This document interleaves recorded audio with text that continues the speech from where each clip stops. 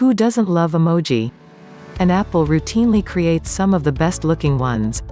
Usually, it holds them back until the fall and releases them then, but today we've had a preview of new and re-engineered emoji that will coming our way in the general release of iOS 14.5 in the coming weeks. Here's what's coming. First, the new features, Siri can now start a group FaceTime call with multiple contacts or with a group. Apple Music adds lyrics sharing, which is a new option to share lyrics from your favorite songs on Messages, Facebook and Instagram stories.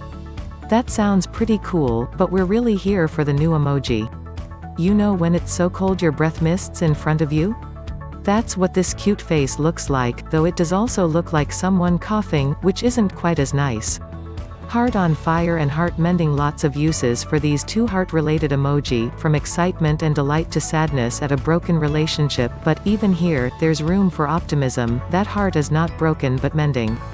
There's plenty of versions of this thanks to skin color and gender options so every combination is possible, including gender-neutral faces. Face with spiral eyes I'm never entirely sure what this face means, but it looks fun and clearly suggests someone not at ease with themselves for one reason or another. Rock climbing emoji have now been updated so each climber is now wearing a safety helmet. Choose from man, woman or person climbing. Apple has updated the headphone emoji so that it closely resembles AirPods Max. Clever or unbridled advertising? Well, not really, but face in clouds is in some ways a bit of a mystery. What does it mean?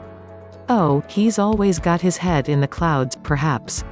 I promise you, my first reaction and perhaps yours was that it was a comment on someone surrounded by unwanted gas.